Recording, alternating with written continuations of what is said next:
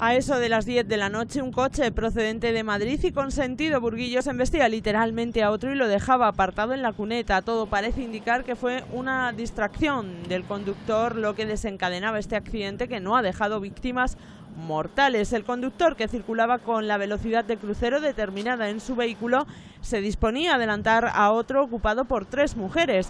En ese momento y debido, como ya decimos, a un despiste que le hacía apartar por unos momentos la vista de la carretera, embestía la parte trasera del coche, lo arrastraba varios metros por la carretera y lo expulsaba hasta el arcén. Todavía este coche llegó a recorrer un trecho hasta que finalmente volcó.